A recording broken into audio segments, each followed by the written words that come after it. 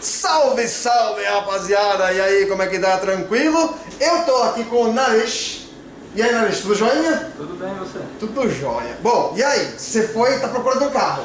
Isso. Achou o carro que você queria? Isso Um mesmo. Peugeotzão? Peugeot, THP, 1.6 Turbo, 2012. E aí, o que, que te motivou a fazer uma avaliação pré-compra? Ah, esse carro ele costuma ter alguns problemas, né, crônicos tal, então eu queria ter certeza, como o vendedor estava me falando que estava tudo ok, que realmente estava tudo Aham. ok. Então procurei vocês para poder fazer essa avaliação. Você já tinha assistido nossos vídeos? Já tinha, inclusive foi pelo, pelo canal que eu... Que você descobri. que, que descobriu que dava pra fazer. Isso, é. Ó, importante fazer avaliação pré-compra. No caso do Naresh, ó, o carro, eu vou mostrar as fotos. O dono não só falou que estava bom, mas o carro realmente tá nota de- 10.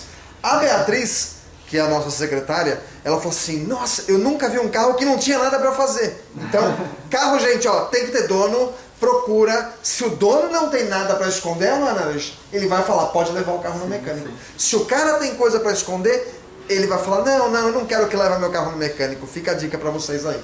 Valeu, Naresh. Obrigado. Valeu, obrigado. Fala, rapaziada, ó. O carro do cara, veja só. Fez o pré-compra. Olhou o carro, estado geral. Lindão, lindo, lindo, lindo. Pintaram as rodas de preto, ficou muito bom.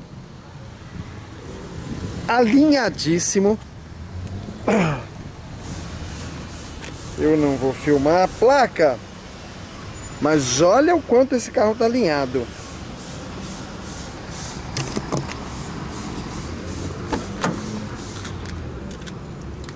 E olha o estado geral do carro. O quanto tá bem cuidado.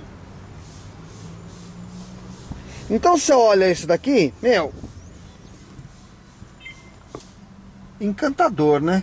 Multimídia. Quer ver que legal? Quem ainda não viu,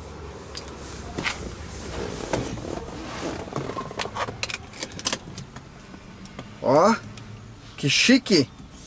Bem bacana, né?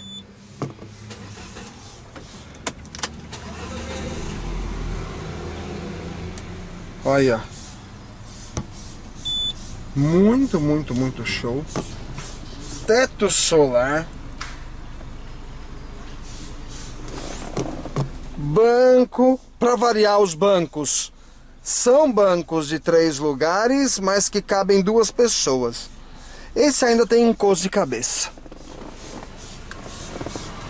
Impecável o carro, impecável, não tem nem o que dizer. Ó, vou mostrar pra vocês porta-malas, vem comigo. Vocês vão ver o tamanho deste porta-malas. Gigantesco.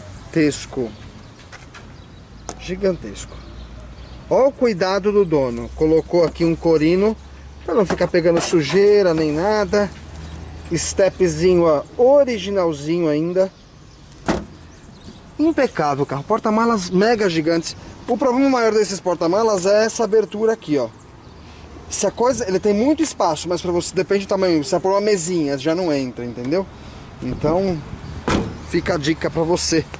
Então, pré-compra, ó. Ele fez pré-compra e a pré-compra desse carro nota 10. Tem nada para fazer, nada. O dono falou que fez tudo e realmente o dono tinha feito tudo. Dica para vocês: faça avaliação pré-compra.